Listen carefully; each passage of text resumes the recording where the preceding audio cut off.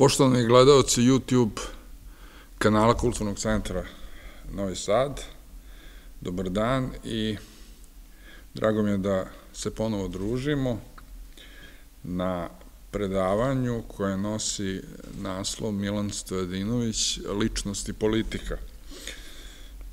Zašto ovaj naslov? Zato što politiku Milana Stojadinovića i generalno Milanu Stojadinoviću je pričano u dakle, ovim prostorijama i a, govorilo se i u kulturnom centru Novi Sad, ali se generalno poslednjih nekoliko godina više priča o Milanu Stojadinoviću i izlazi se iz onih stereotipa koji su važili nekoliko decenija u komunističkoj historiografiji, pre svega stereotip da je Milan Stojadinović bio usko povezan sa fašističkom Italijom i nacističkom Nemačkom, što on jeste u principu bio kroz ekonomsku saradnju pre svega, ali usled toga se, dakle, zapatio stereotip da on praktično bio sledbenih fašističke i nacističke ideologije i da je njegov pogled na svet, dakle, sadržao ideološke komponente ovih pogleda na svet, dakle, kakvi su važili u Nemačkoj i u Italiji. To naravno nije tačno, jer Milan Stojadinović je bio izuzetno složena ličnost, ali je to na neki način, kao što rekao, važilo, pre svega u komunističkoj historiografiji, ali u dobrom delu historiografije posle. Međutim, zadnjih nekoliko godina, kao što rekao, javljaju se novi pogledi i novo sagledavanje situacije koje Milana Stojadinovića pre svega percepira kao real političara, a on je bio real političar, govorim pre svega na period 35. 39. godine, kada on bio predsednik vlade i neosporno prvi čovek, prvi politički čovek e, Kraljevine Jugoslavije. E, upravo zbog toga e, smatram da o Milanu Stojadinoviću treba pričati, ali donekle Kao što rekoh, pošto je već dosta pričano, donekle možda pokušati zaviriti u njegovu ličnost, da vidimo kakav je on bio čovek, jer kada pogledamo recimo njegovu kampanju iz 38. godine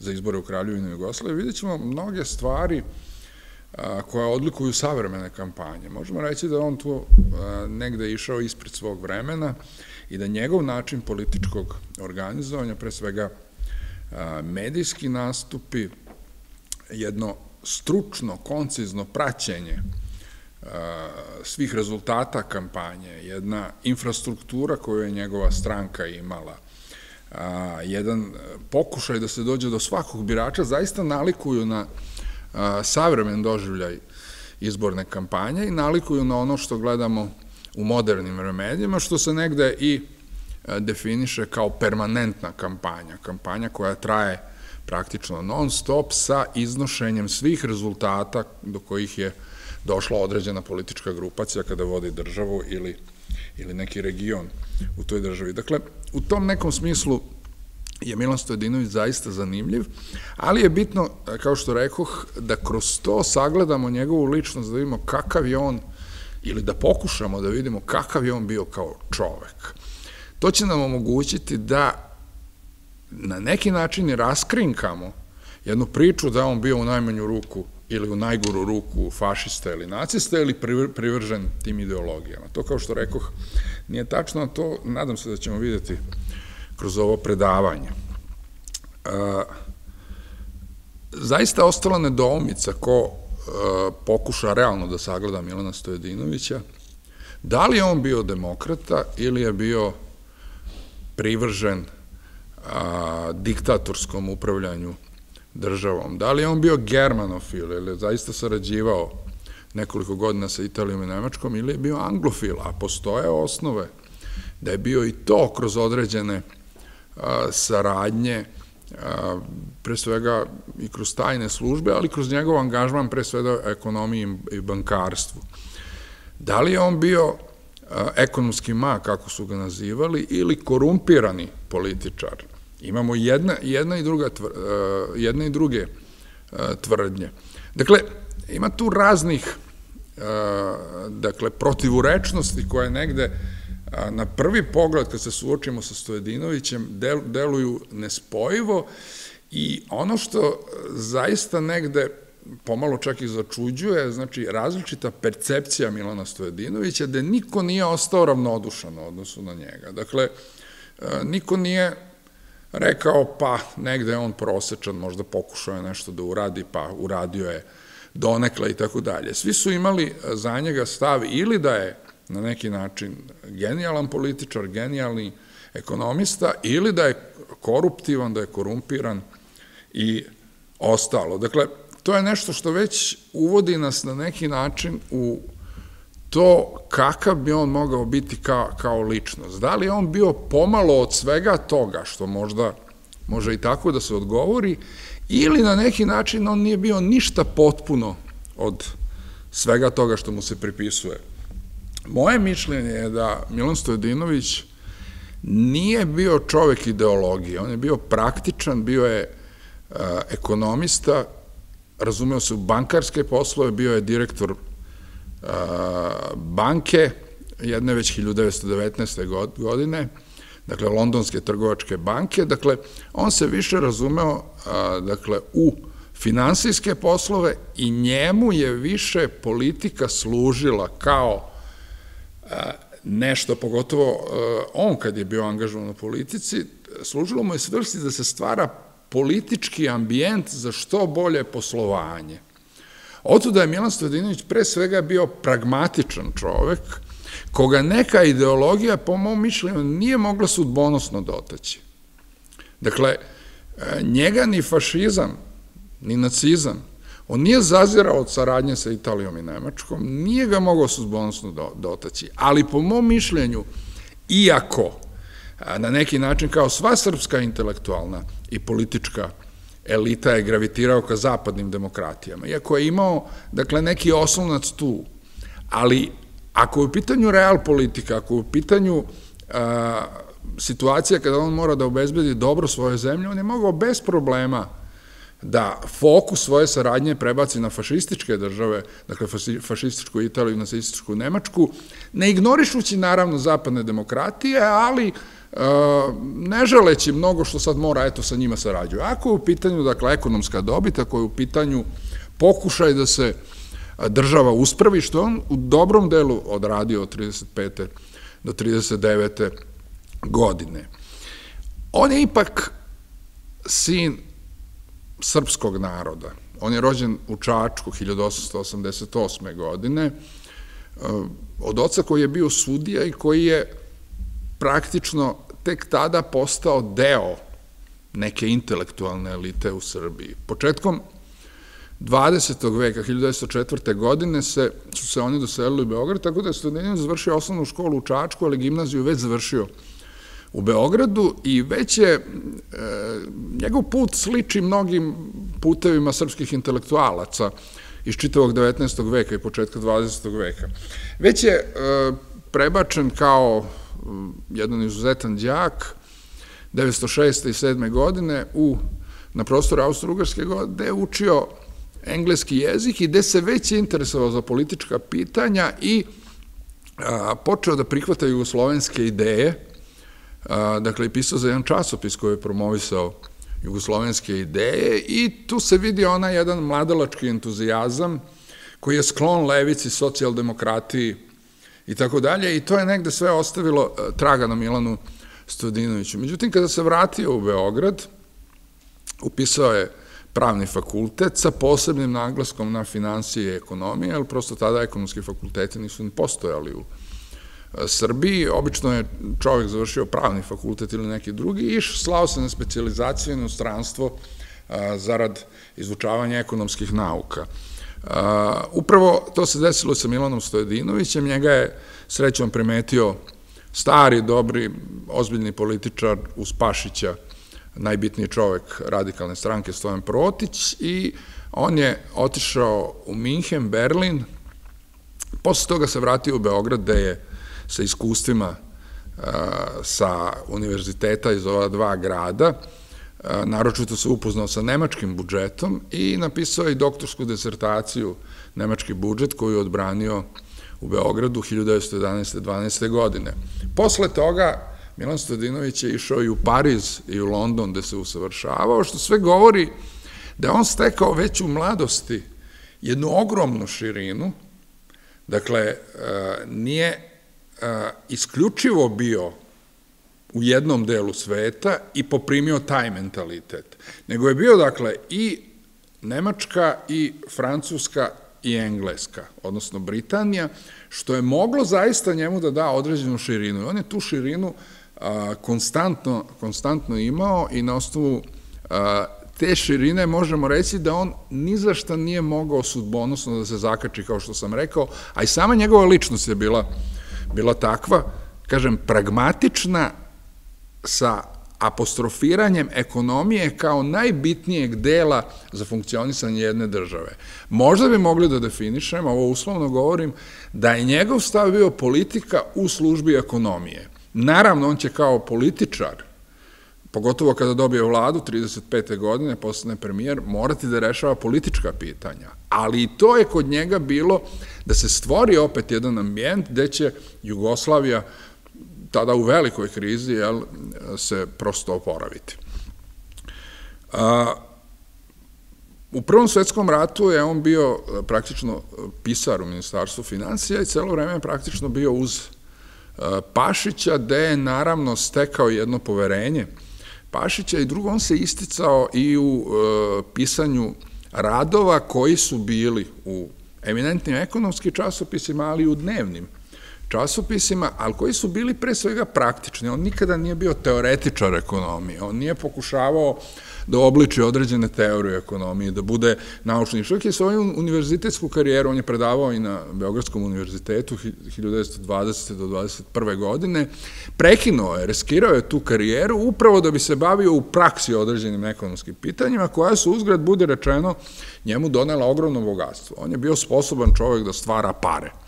I sad tu postoje kontraverze kako je on to radio, koliko je to legalno, koliko nije legalno. Odmah da kažem, postoje različita mišljenja određenih ekonomista. Postoje ekonomisti koji kažu da je to njegove pare da su plod zaista korupcije, ali postoje i ekonomisti koji se ne slažu sa tim i koji kažu da prosto sledeći ondašnje ekonomske zakone i pravila i modele funkcionisanja države, da je on negde pribavio to bogatstvo više svojom veštinom, ne kršeći zakone i ne kršeći neke osnovne, čak i moralne principe uh, ekonomije i financija. No, bilo kako bilo, možda ćemo se vratiti još jednim detaljem na to najpoznatijom aferom takozvanih obveznica ili hartija od vrednosti, no, uh, kao što rekao, on je 1920-21. predavao na Univerzitetu u Beogradu i odustao je od te karijere, jer se bavio i politikom, već 22. godine on postao ministar financija, što je negde njegovo pravo mesto i on će biti u dva navrata ministar financija s kraćim prekidima praktično do 25. 6. godine i 1934. do 35. dok ne postane premijer posle ukidanja diktature kralja Aleksandra, dakle, on će e, postati ministar financija. Dakle, u tri navrata će biti ministar financija. Pošto ja nisam ekonomista, samo u par reči ću pokušati e, da kažem šta je on pokušao da uradi, jer se Jugoslavija, odnosno tada kraljevina Srba, Hrvata i Slovenaca, suočavala e, sa zaista teškim poratnim vremenom, kojem je doprinela jedna ekonomska kriza 21. 22. godine, koja naravno nije bila jaka kao ova velika depresija iz 1929. godine, ali je bila i tekako ozbiljna, s tim da i da nije bilo te krize. E, Kraljevina Srba, Hrvata i Slovenaca, koja je e, anektirala i u čiji sastav su ušli sada krajevi, ogromni krajevi Austro-Ugarske, istorijske pokrajine Bosne i Hercegovina, Hrvatska, Slavonija, Dalmacija, Slovenija, Crna Gora se priključila, Ovi krajevi, e, dosta pasivni, e, stare Srbije, odnosno Makedonije, Kosova i Raške, su tek tada su počele da se integrišu u okviru sastav države, ako su 1912. i 13. oslobođeni. Dakle, jedna mala Srbija je sada postala ogromna. Ona je preuzela jedan aparat jedne velike imperije, Austro-Ugarske, i trebalo je prosto taj sistem negde u svakom slučaju u političkom, ali i u ekonomskom, trebalo ga, trebalo ga je unifikovati i za to je trebalo vremena. Sistem naplate poreza je išao jako teško, pogotovo u tim krajevima koji nisu bili u sastavu Srbije, onda je to država nadoknađivala, dakle, upumpavanjem novca, što je izazvalo veliku inflaciju. Ako uzmemo podatak da je Ustav Vidovdanski donesen 1921. godine, a prvi budžet je donesen te 1924. godine, da se definisalo, dakle, koji su oni poverioci, od koga se, dakle, naplaćuje porez, koja je stopa poreza i tako dalje. Sve to trebalo obličiti i to se sve uradilo u vreme, dakle, vlade u kojoj je Milan Stojadinović bio ministar financija. Njegov cilj je bio stabilizacija dinara i to će biti njegova negde i kasnija preokupacija, dakle, stabilnost financija, dakle, i onda na neki način stvaranje jedne klime za investitore i za jednu slobodnu tržišnu utakmicu gde će praktično oni najsposobniji, to je ideja, uspeti da se tu realizuju i da na neki način kroz svoju kreaciju, kroz svoja znanja da unaprede zemlju. To je njemu negde bio cilj, to će ostvariti tek praktično u potpunosti 35. godine. No bilo kako bilo, ono što je negde za jedno vreme udaljilo Milana Stojadinovića, bar iz nekih najviših političkih funkcija, to je ta, takozvana afera sa obveznicama, odnosno hartijama od vrednosti, koje su nastale kao plod odluka i versijske konferencije, dakle da Nemačka isplaćuje ratne reparacije državama koje je držala pod okupacijom. To su pre svega bile Srbija, Crna Gora, delovi Francuske i Belgija. Dakle, te države su bile nekoliko godina pod okupacijom, delovi Francuske, nije cela Francuska, ali praktično cela Srbija od 1915. do 1918. je bila okupirana i Nemačka imala obavezu da isplati ratne reparacije. Ratne reparacije su trebalo da se isplaćuju građanima Srbije. Međutim, tu je sad na volšeban način se pojavila država kao posrednik između građana i između onoga ko treba da isplaćuje reparacije i Nemci se nisu na to toliko bunili, da su oni praktično svoja neka stara postrojenja isporučivali Jugoslovenskoj državi, što je negde e, za privredu Jugoslavije u tom trenutku e, bila dobra stavka. Jer mi smo imali izuzetno lošu razvijenu industriju. Srbija nije pre svega bila industrijska zemlja, ona je pre svega bila poljoprivredna zemlja. S druge strane, pojavio se jedan deo i hartija od vrednosti, koji su dobili, dobili obični građani.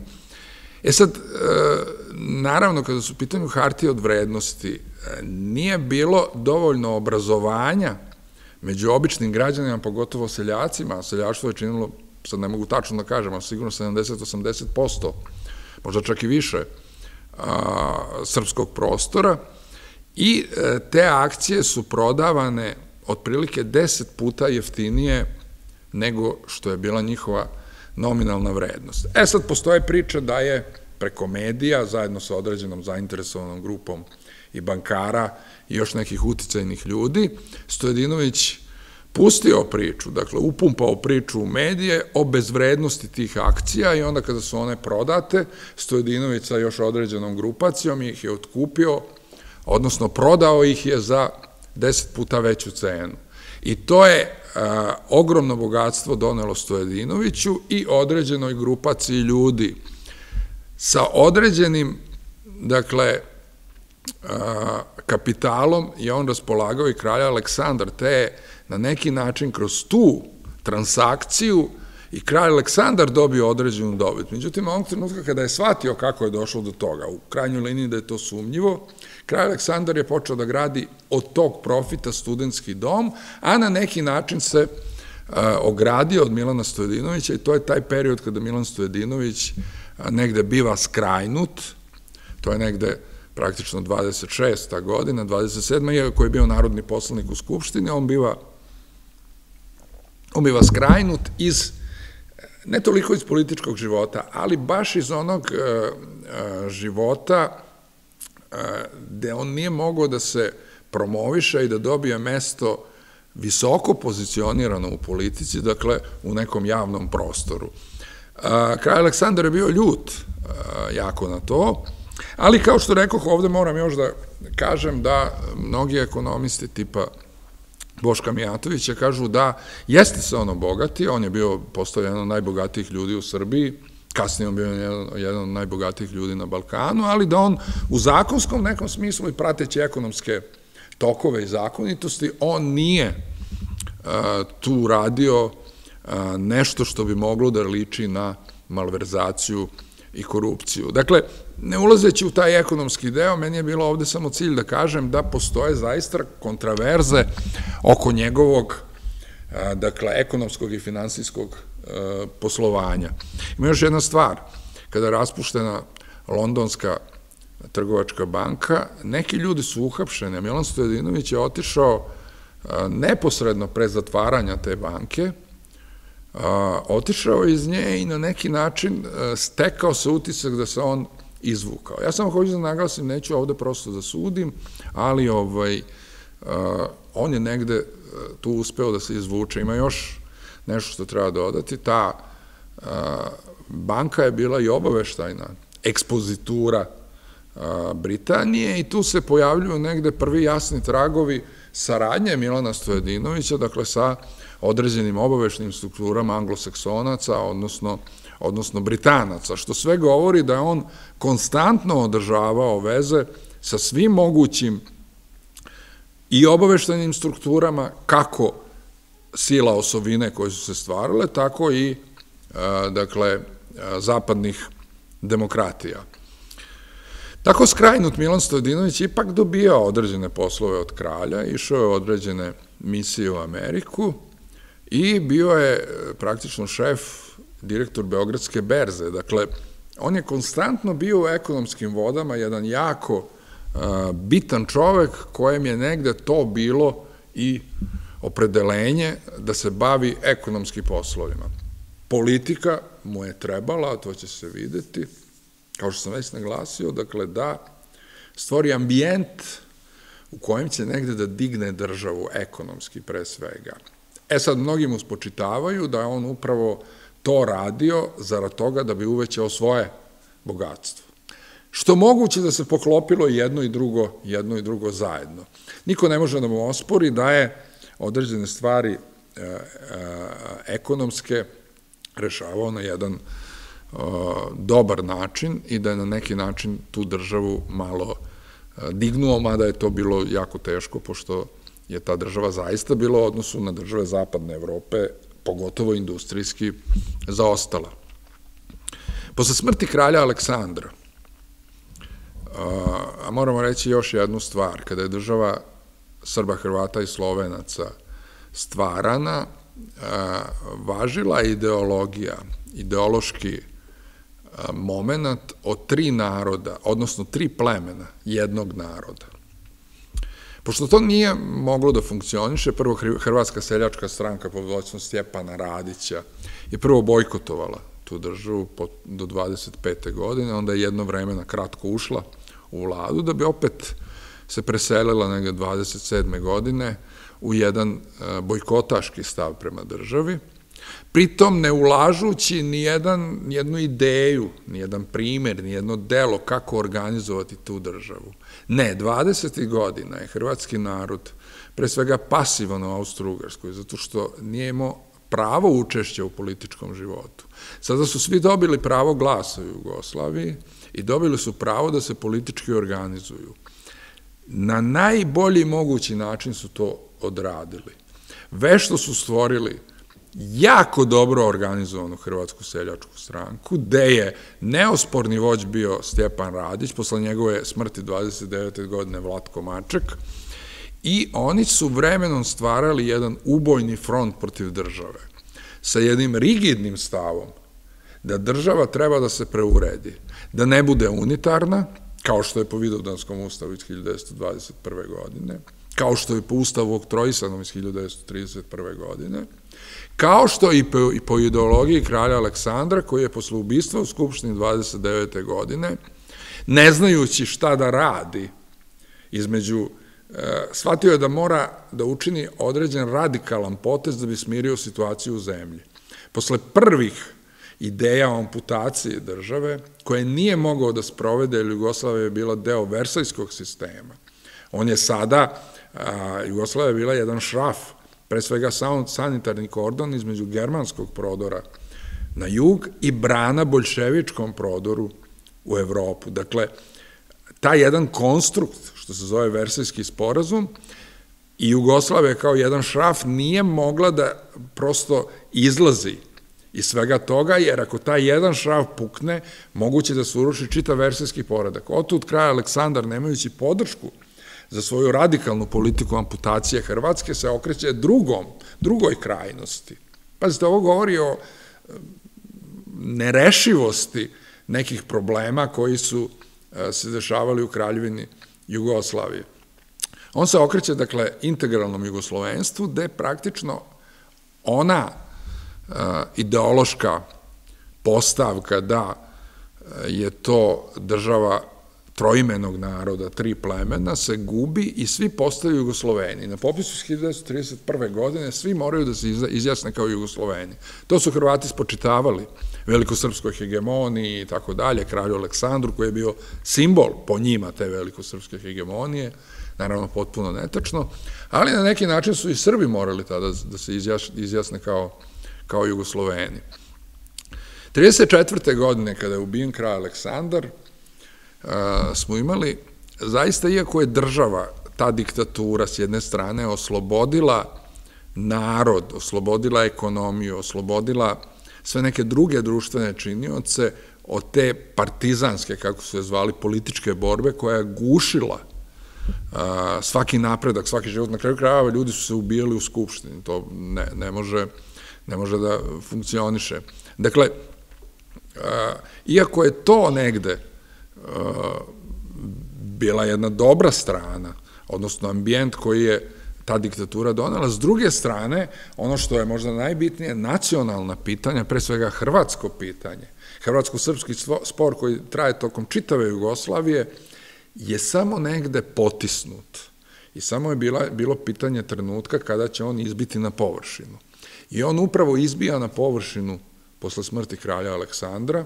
Mi imamo jednu sada već potpuno homogenu, organizovanu, dakle, sa vojnim formacijama koji se tada počinju formirati, Hrvatske seljačke stranke. Dakle, stranke koja na prostorima koje su neosporno Hrvatske, dakle, u Savskoj i Primorskoj banovini, ima, nema formalno pravno, ali ona potpuno kontroliše taj prostor kontroliše kroz institucije, jer se mogu zaposliti samo činovnici koji odgovaraju Hrvatskoj seljačkoj stranci.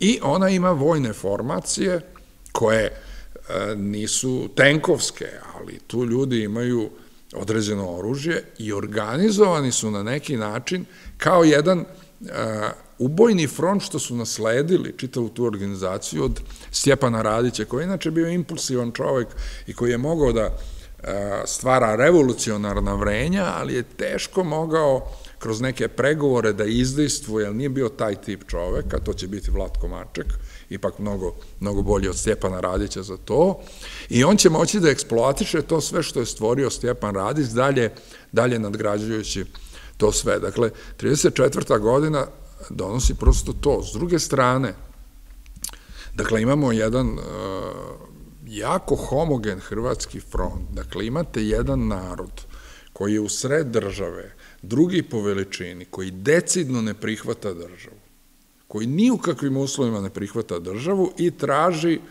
federalno ili konfederalno uređenje, koje naravno znaju svi, javna je tajna, da vodi ka potpunoj separaciji. Dakle, to govori ono što se negde je znalo, da Hrvati prosto nikada, ja sad ne ulazim da li je to e, dobro, pravilno, nepravilno. Prosto to je bio njihov stav. Da oni neće prihvatiti tu državu i da je njihov cilj u Jugoslaviji da steknu uslove da se izdvoje iz te države i stvore svoju samostalnu hrvatsku državu, što su i ostvarili praktično tek 90. godine, ali su negde ostvarili, ali tu postoje etape, oni su već u komunističkoj Jugoslaviji imali republiku federalnu od 74. godine, iako se zvala federalna, to je već bila konfederalna država, tako da je 90. negde poslednji čin jedne drame koja je trajala, uh, trajala decenijama. Dakle, Stojadinović ima taj problem, odnosno kada dolazi 35. godine, ali to je već problem 34. godine. On ima, odnosno Jugoslavija tadašnja, ima još dva problema, bi ja rekao. Prvi problem je nespremnost srpskih političkih elita. Potpuna konfuzija. Znate, kad uđete u pogrešan vagon i krenete u pogrešnom pravcu, a to figurativno možemo reći da je Jugoslavija, svako rešenje, svaka organizacija u tom vagonu i oko njega, može da bude majestralno, ali ono je na pogrešnom pravcu. I otprilike to je bila negde Jugoslavija. Svako rešenje, ono može biti dobar rezultat u toj datosti, ali ono negde ne rešava srpsko nacionalno pitanje, pošto Srbi su već smatrali da su ulaskom Jugoslaviju rešili svoje srpsko nacionalno pitanje u jednoj su državi. Naravno, oni su smatrali da su ga i Hrvati rešili. Međutim, Hrvati očito su rešenje svog nacionalnog pitanja videli na potpuno drugačiji način. Dakle, to je sve prouzrokovalo zbunjeno srpske elite. Jer i stranke, stranački prvaci su negde amortizovani tokom diktature, tokom tih pet godina i oni više nisu bili ono što su bili. I već su bili donekle, ta deprimiranost će biti mnogo veća pred kraj Jugoslave, već i tada su bili donekle deprimirani. Druga stvar, što je još uslovljavalo Jugoslaviju, dakle, spoljno-političke prilike. 34. godine, a i pre toga, tokom prethodnih, od kada je stvorena Jugoslavija, konstantan problem postoji sa Italijom. Jer Italija, kao što znamo, po londonskom mirovnom ugovoru 1915. godine dobijala čitavu Dalmaciju do Splita. To sve je ušlo, gotovo sve, ali ne baš sve, ali gotovo sve je ušlo, pa praktično do rijeke je ušlo u sastav s tim izdvojeno nekoliko gradova koji su pripali u severnoj Dalmaciji i Italiji, je ušlo u sastav Jugoslavije. Otuda ta netrpeljivost, jer je preko Jadrana severnog, pre svega i preko Albanije, za koju je Italija pokazivala stalno interesovanje, pa je negde i e, pred drugi svetski rat ušla u Albaniju, anektirala je, je Italija imala upliv na Balkan koji je bio njena interesna sfera. Dakle, u tom nekom smislu Jugoslavija je bila kao percepirana kao veštačka versajska tvorevina, glavni protivnik Italije. 34. godine, vraćamo se, potpisnici rimskih protokola su bili Mađarska i Austrija, revizionističke zemlje. Pazite, to je period 30. godina kada versajski poredak, u kojem je Jugoslavija imala značajno mesto i koji je negde odgovarao Jugoslaviji, igrala je ulogu sanitarnog kordona, dakle značajnu ulogu izuzetno, dakle prodoru germanskom i bolševičkom, eventualnom, dakle u toj 34. godini a, se suočava sa tim nekim spoljnopolitičkim problemima, okruživanjem revizionističkih sila u vreme kada je već Hitler došao na vlast, odbio da plaća ratne reparacije, načinio niz radikalnih poteza koji su već najavljivali urušavanje Versijskog mirovnog ugovora. Ovo je jako značajno shvatiti, jer Stojedinović u tom trenutku, već sledeće godine, 35. godine, postaje predsednik vlade i u kontekstu polakog urušavanja Versajskog mirovnog ugovora i stvaranja jednog novog evropskog poredka, za koji će biti založena pogotovo Britanija, Francuska ne toliko, ali će Francuska podržavati zbližavanje Jugoslave sa Italijom da bi se eliminisala Nemačka, Francuska se bojala Nemačke. Ali u tom kontekstu treba shvatiti jedan zaokret politike koji je sproveo Milan Stojadinović. S jedne strane, Milan Stojadinović je bio idealna ličnost za to, zato što je bio pragmatičan i zato što nije bio vezan, kao recimo mnoge strukture u vojsci, pa i mnogi intelektualci, koji su bili vezani za zapadne saveznike bili su spremni da ispunjavaju sve šta oni kažu, čak i na uštreb jugoslovenskih i srpskih interesa. Nije to bilo moralno diskutabilno. Oni su imali visok moral, ali prosto dolazio je period politike koji je potpuno, potpuno drugčiji. I upravo u tom kontekstu 35. godine i Italija menja politiku prema Jugoslaviji, zauzima jedan drugačiji kurs, ali najviše usled toga, jer pazite, nije bilo uh, kompaktnosti, bar u početku, između Nemačke i Italije. Italija se boji Anšlusa, dakle prisvajanja Austrije i prodora, kao što se videti 38. godine, sve jačeg uticaja Nemačka i Jugoslavije i u jugoistočnoj Evropi. Pazite, kada je Nemačka pripojila Austriju, ona je prvo postala sused odma Jugoslaviji, prvi sused. Drugo, ona je uzela određene čitavu strukturu i političku i ekonomsku i bankarsku Austrije, a mnoge austrijske banke su bile kreditori određeni projekata u Jugoslaviji i sad je taj kreditor postala Nemačka. Znate, kad vi upumpavate novac u neku državu ili bilo gde, vi onda uh, značajno dižete mogućnost svog uticaja na tu državu. O svemu tome se moralo voditi računa, ali Italiji taj Anšlus koji je pretio nije odgovarao, jer je upravo su se bojali da će nemački uticaj Jugoslavije biti veliki, a oni su smatrali da taj uticaj treba Italija kroz jedan uh, uh, dogovor sa Jugoslavijom da ostvari. Ono što je bitno Milanu Stojadinoviću bilo na unutrašnjem planu te 35. godine, pošto uh, Jugoslovenska nacionalna stranka, koja je bila dvorska osnovane 32. 33. godine, je izašla na izbore, na čelu sa Bogoljubom Jeftićem 35. godine, odnela je pobedu, udružena opozicija, čiji je nosilac liste bio Vlatko Maček, je imala na svojoj dakle, listi i jugoslovensku muslimansku organizaciju Mehmeda Spahe i slovensku ljudsku ili narodnu stranku.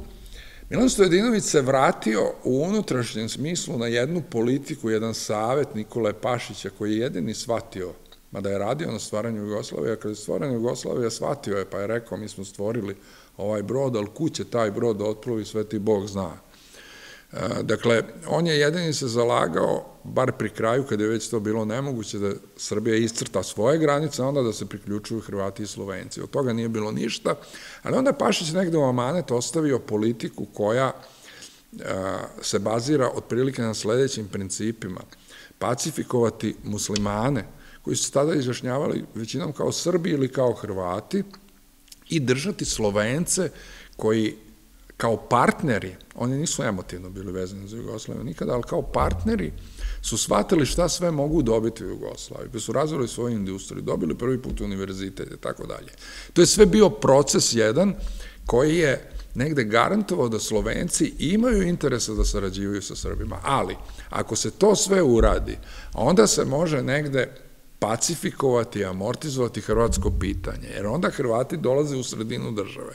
A pazite, iz sredine države se niko ne može ocepljivati.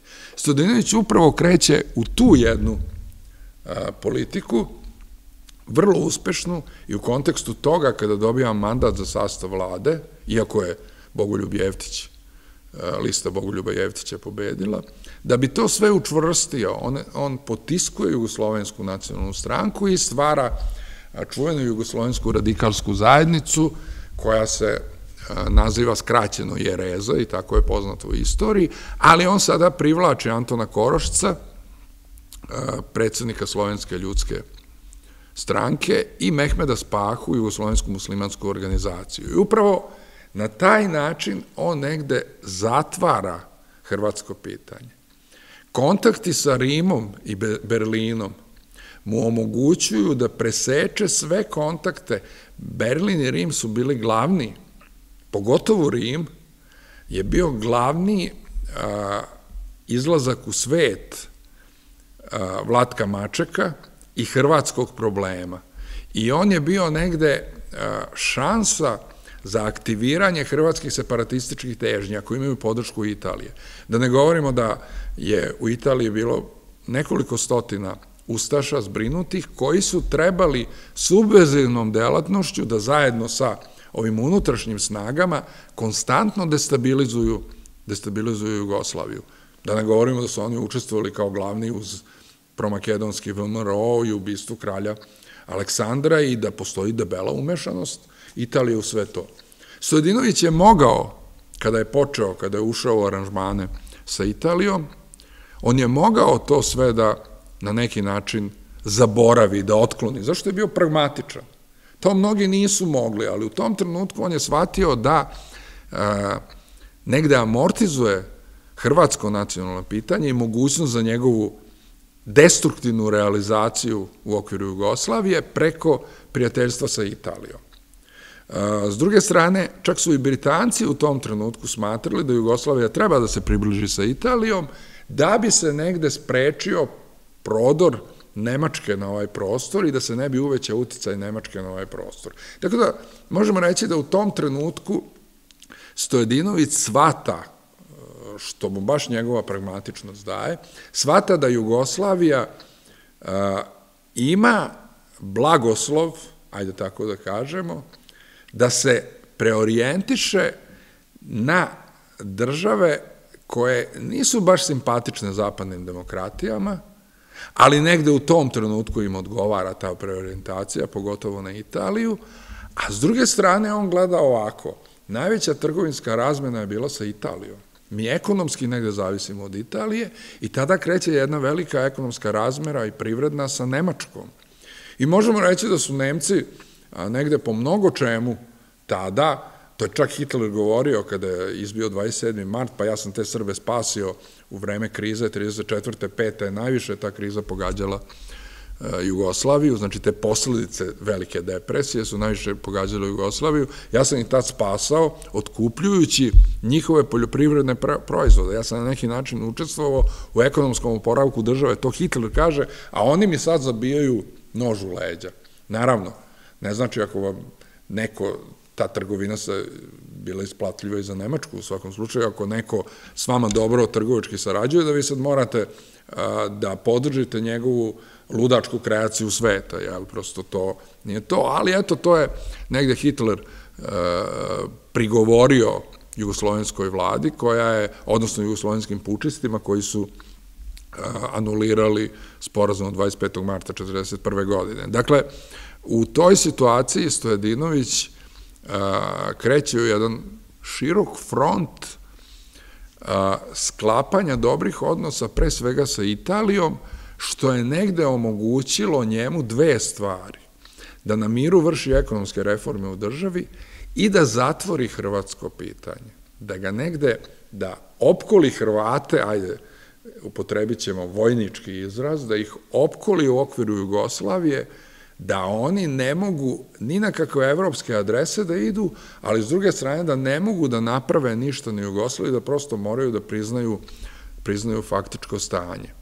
I to će on jedno vreme uspeti, mada, zarad toga da kažemo da on dobro skicirao situaciju, moramo reći da on želeo sporazum sa Hrvatima i želeo da se Hrvati uključe u politički život, I otud se on sastao sa Mačekom. Prvo se s Mačekom sastao knjez Pavle. Knjez Pavle je kao zaista jedan e, ne samo evropski čovek, ne samo britanski čovek, nego kao pripadnik britanske aristokratije. Ne čak ni elite, nego aristokratije.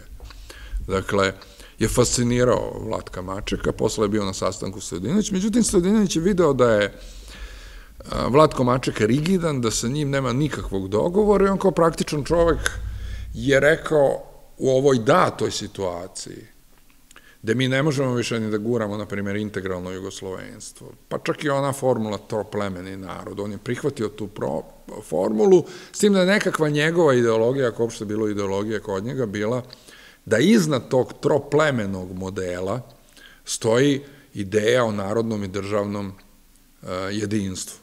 Kada je vidio da to ne može nikako da prođe kod Mačeka, on je onda počeo da da, dakle, ustrojava tu državu onako kako je moglo.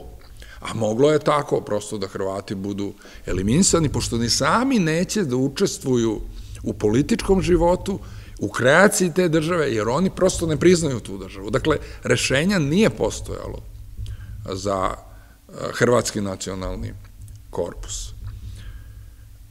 Ta spoljnopolitička situacija, relativno stabilna, je njemu omogućila da on državu koja je bila u dubokoj ekonomskoj krizi, zaista negde digne kroz razne stvari. Dakle, on je po uzoru na Amerikance, sad kad kažem po uzoru na Nemce, na Hitlera, ali to su radili i Hitler i Amerikanci, svi u vreme ekonomske krize i Francuzi, organizovali javne radove. On je uposlio 150.000 ljudi u javnim radovima koji su gradili infrastrukturu. Ozbiljna infrastruktura se gradila u državi. Drugo, e, ono što on smatrao, politika kao ambijent da se stvore uslovi za ekonomski napredak. To je uradio dosta toga, jer u tom periodu njegovom je otvoreno, evo recimo podatak, 111 fabrika. Od toga ono što je najbitnije, 90% kapitala je bilo domaćeg. On je znači domaću privredu uzdigao. Pomogao je e, seljačkom stanovništvu da je negde amortizovao i gotovo ukinuo neke seljačke dugove i omogućio srpskom selu negde da stane, noge, da stane na noge, stabilizovao je dinar. Ovo su, kao što rekao, ja nisam ekonomista, ovo su samo deo stvari koje on uradio, ali s kojih se može videti da on podstakao jedan, jedno privatno preduzetništvo, što je negde moglo ovaj, čitavoj državi, kad se sve sabere, da donese dobit. Kad samo pomenemo da privredni rast je bio u vreme njegove vlade pa nekada i dvocifren, što mi nikada nismo imali posle. Dakle, to je jedan ogroman privredni rast, to govori sve da je on bio, ne možemo se osporiti da je stručnjak. E sad, pazite, može biti čovek i stručnjak i koruptivan, to obično su stručnjaci i koruptivni, pošto znaju, on, on je prosto znao do srži taj, taj svoj posao. A, da bi dalje sredio situaciju, on se sastao sa grofom Ćanom, s kojim je ministrom spoljnih poslova Italije, s kojim je on stupio u jedne zaista i prijateljske odnose i u sporazumu od 25. marta 1937. godine, ono što je njemu jako bilo u daljem rešavanju i hrvatskog pitanja i spoljnopolitičkih pitanja, on napravio sporazum po kojem uz one klasične sporazum imao osam tačaka uz one klasične priče koje idu u sporazumu da se poštuje manjina italijanska Jugoslavija i obrnuto i tako dalje, on je raspustio ustaški pokret, čime je garantovala Italija da se neće baviti, neće učestvovati, neće posticati, neće organizovati dakle, ustašku emigraciju u diverzanskim subverzivnim akcijama prema Jugoslaviji, što je Stojadiniću bilo i tekako, i bitno, što je zaista dodatno negde pacifikovalo hrvatski pokret bar za, bar za jedno vreme. S tim da moramo reći da u svoj toj situaciji nepovoljnog u kojih, u kojih je doveo Milan Stojadinović Hrvatsku seljačku stranku i uh, čitav taj pokret, oni su ostali dosledni. Nisu bili u lakoj situaciji, ali su ostali dosledni da Jugoslavija mora da se uh, redefiniše na principima federalizma ili, ili konfederalizma, što na neki način je ostavilo utisak u svetu, pogotovo u Britaniji, to ćemo videti uh, u narednih nekoliko, narednih nekoliko minuta.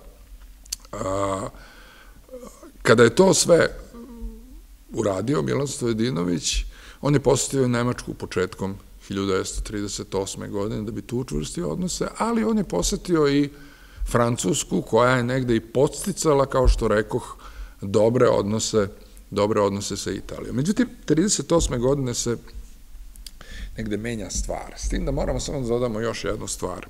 U kontekstu njegove politike je bio i projekat konkordata, ugovora sa Vatikanom, dakle, državnog ugovora koji Vatikan sklapa sa državom, određenom, ovog puta Jugoslavijom, a koji se tiče položaja katoličke crkve u okviru te države. Taj ugovor je zaista drastično kršio prava Srpske pravoslavne crkve i otuda se pojavio otpor krajem 36. godine, već i tokom 37. godine, se pojavio veliki otpor u Srpskoj pravoslavnoj crkvi. E sad, taj otpor je bio čisto verske prirode, ali su se na njega nakačili opozicionari mnogi i koristili to, što kaže Milan Stojedinović, ovi opozicionari, oni njih uopšte ne zanima, ni crkva, ni vera, ni konkorad, ko znam kad su posljednji put došli u crkvu, ali je to njima bila zgodna prilika da ruše Milana Stojedinovića, to je potpuno tačno bilo. Kada kažemo da u toj čuvenoj krvalovoj liti iz jula 1937. godine, e, kada su tučene i srpske vladike, u toj liti, ne samo da su bili opozicijalni prvaci, nego su bili i komunisti. To je onako jedan paradoks da komunisti koji su bili ateisti, čija se sva ideologija sastojala u ateizmu, zemaljskom carstvu, eliminaciji crkve i tako dalje, odjednom su se oni pokazali kao branioci crkve, ali crkva tu nije imala izbora, ona je morala negde da se brani, taj projekat konkordata nije prošao, a Milan Stojedinović ga je hteo da sprovede u cilju zaista potpune pacifikacije hrvatske političke elite, zato što ugovor sa Vatikanom i davanje zaista velikih ovlašćenja katoličkoj crkvi bi njemu omogućilo da kaže, evo ja sam prosto sve dao, ja nisam ni nacionalista, jer on to nije bio, nisam ni, nisam ni čovjek protiv Hrvata, ni protiv katoličke crkve. Znači, ono bi zaokružilo jedan, uh, jednu njegovu politiku koja je negde zato i vođena da bi se sačuvala Jugoslavija sa jednom nadom da će se upravo jednom ti Hrvati priključiti. Jer on je od početka gajio tu nadu i prva, prvo u agendi mu je bilo posle priključenja Jugoslovenske muslimanske organizacije i Slovenske ljudske stranke da privuče i Hrvate. Međutim, kao što rekao, njihov decidan stav to nije ovaj, nigde dozvoljavaju. 38. godine se pojavljuju neki novi trendovi, što je jako bitno. Ta saradnja je bila sve snažnija. Ona nije bila savezništvo, kao što se kasnije spočitavalo Stojedinoviću, ali ta saradnja sa Italijom, pogotovo i sa Nemačkom, je bila negde sve, sve snažnija. 38. godine posle Anšlusa Jugoslavija praktično nije reagovala, ali nisu reagovale ni Britanija. Mnoge stvari su spočitavane Jugoslaviji i vladi Milana Stojedinovića, na šta nije ni, ni Britanija reagovala. Ali u jednoj konstrukciji prethodnoj, gde je bilo govora o restauraciji austro-ugarske monarhije, Anšlus je bio manje zlo u, u celoj priči. A, pohod i aspiracije Hitlera na Čehoslovačku Milan Stojadinović je opet ostao neutralan.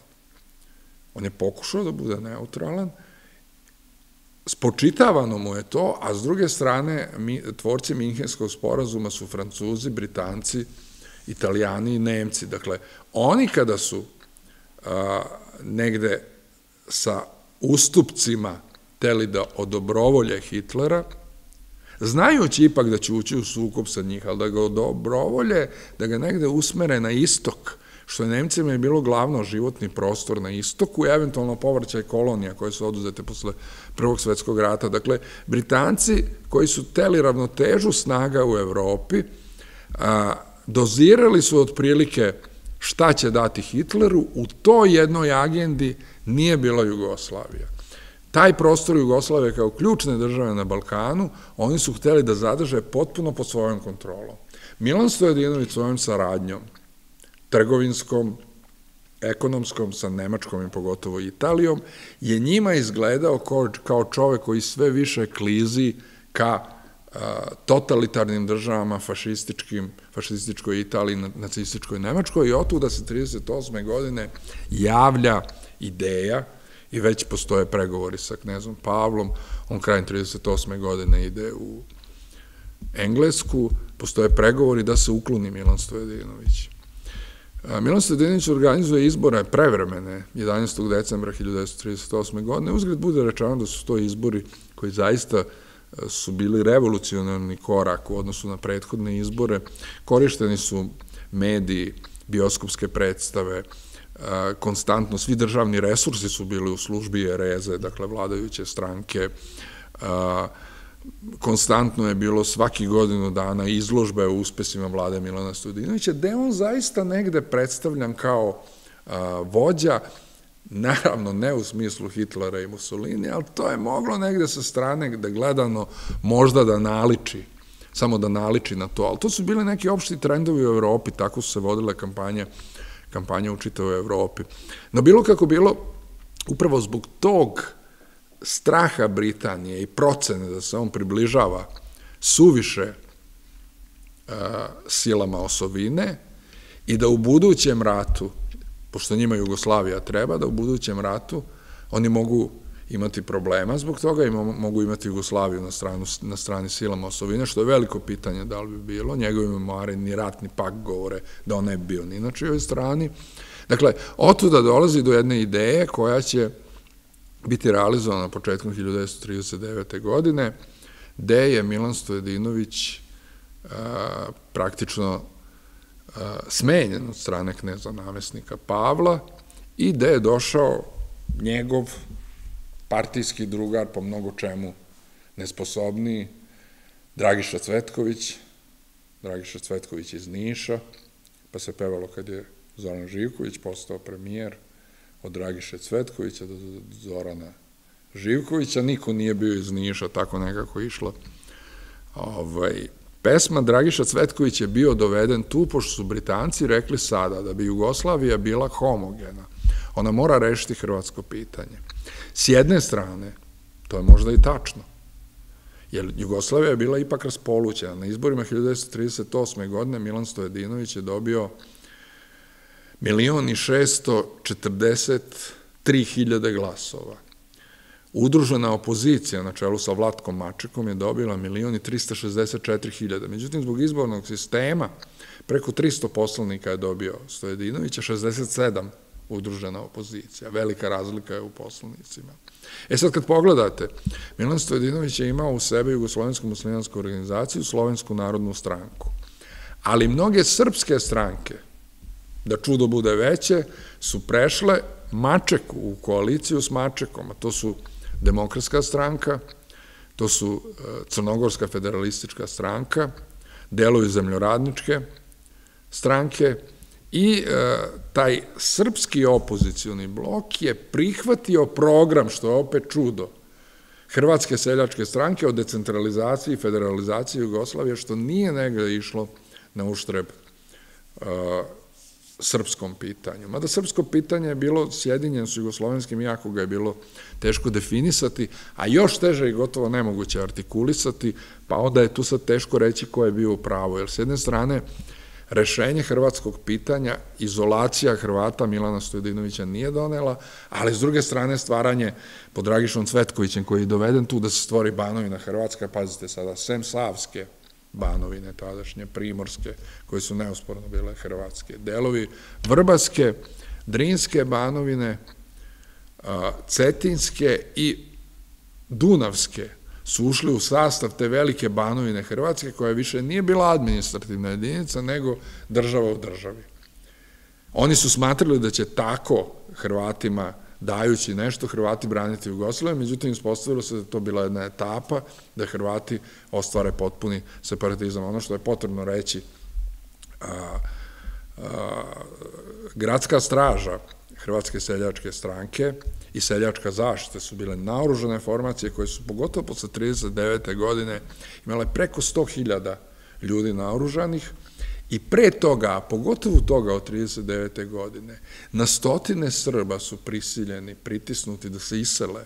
Tako da je NDH, kada je došla, samo nastavila taj jedan e, proces brutalno e, ga uvećavajući i umnožavajući, samo je nastavila taj jedan proces koji je, koji je postavio. Uglavnom, da Stojedinović nije bio neki veliki vođa, tipa Hitlera i Mussolinija, vidi se po tome što on bez problema praktično smenjen, vladu je došao Dragiša Cvetković, a Stojedinović je osnovno Srpsku radikalnu stranku, no brzo posle toga je on interniran već u aprilu 1940. godine, a kada je već pretila opasnost da Nemci okupiraju Jugoslaviju, u martu je on predat Britancima, otišao na ostrovo Mauricijus, na kojem je bio do 1947. godine, odakle je pušten, pa je preko Brazila stigao u Buenos Aires 1948. godine i 1961. godine on umro.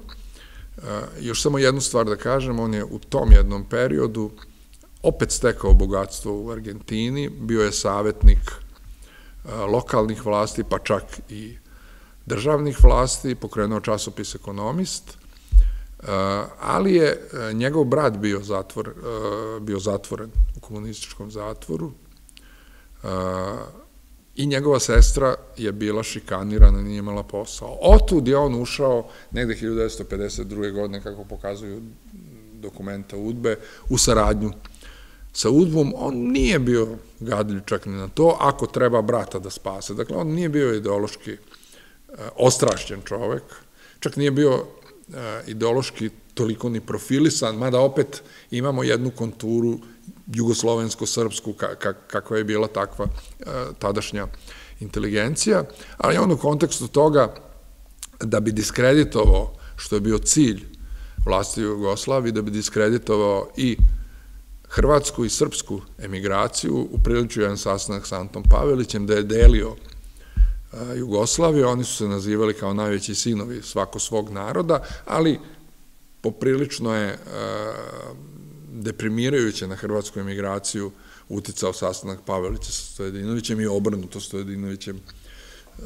na srpsku emigraciju, gde su oni diskreditovani, što je bio negde i cilj udbe, ali je Stojedinović prosto to uradio da bi njegov brat bio oslobođen i njegov brat jeste bio oslobođen, tako da je po svojoj prilici taj sastanak upriličen i kreacija, kreacija udbe, što njemu nije smetalo, on je to vrlo dobro, vrlo dobro znao, ali je on negde prihvatio Argentinu kao svoju otačbinu, ne mešajući se u srpsku emigraciju, smatrajući da su oni relikti prošlosti i kod njega vidimo baš onaj jedan stav tipičan ekonomski, tipičan preduzimački, tipičan brokerski, kakav imamo danas na njujorškim berzama, u velikim korporacijama, američkim i globalnim. Dakle, ekonomija, ekonomija, ekonomija. Te sve priče, partizani i četnici, pogotovo još što on bio na Mauriciji su tokom drugog svetskog rata, dakle, te sve priče su njemu bez veze bile. To su ljudi njemu anahroni bili, ljudi prošlosti. On ima otprilike negde stav kao neka današnja omladina, današnjem omladincu koji je rođen 95. godine ili 2000. godine, ako pričate o četnicima i partizanima, on gleda u belo. Generacijama kao što sam ja starijim, prosto mi još uvek smo u tim vodama, pa onda imamo zašto ovo, zašto. Njima je to su potpuno bez veze. Stojedinović je već tada kao čovek od 60 godina imao jedan takav stav. Ja neću da kažem da to nije bitno, ali prosto Stojedinović je to shvatao kao nebitno. U kontekstu onoga kako on shvatao život. A on je shvatao život tako da se ekonomija digne i da se on obogati. On se obogatio, čak i u Argentini, je gradio ogromne vile, ovaj, gradio ogromnu vilu. Dakle, njegov stav je bio potpuno ovaj, u skladu sa nekim njegovim pragmatičnim duhom, koji je bio, ako, i time ću završiti, ako gledamo jednu pravoslavnu duhovnu komponentu srpskog naroda i ako gledamo ono iz čega je on proistekao i šta je negde egzistencijalno za njega, Stojedinoviću je to bilo strano. Stojanović je, Stojedinović je više bio čovek svetski, čovek e, e, svetske ekonomske projekcije sveta, čovek kakve su iznedrile e, bankarski konglomerati i velike korporacije američke. U tom nekom smislu njega neki doživljavaju, ja sam bar imao prilike da pričam sa njegovim daljim rođacima, ovaj, koji kažu da on bio taj čovek koji je hteo da prosvetli Balkan. Oni su smatrali da je to sve anahrono, te pravoslavlje, te mit, te epovi, te, to je sve bez veze po njima. Po meni nije. Po njima je bez veze, a Stojedinović je bio predstavnik a, jednog svetskog kapitala, svetskog modela sprovođenja i shvatanja ekonomije, financija i tako dalje, koji je mogao negde Jugoslaviju da uzdigne, ali zbog razoraznih faktora to nije uradio. To je, ja se slažem sa tom, da je on bio takav čovek, ali to negde govori da on uprkos čak i pokušaju, pričalo se da je 39. godine radio na tome da se negde zbog nemogućnosti stvaranja dogovora sa Hrvatima, možda i stvara, koliko je to tačno, da se stvara u podeli sa Italijom jedna velika Srbija, sve je to kod njega, motiv je bio jedna praktičnost, da se stvori država koja može da funkcioniše.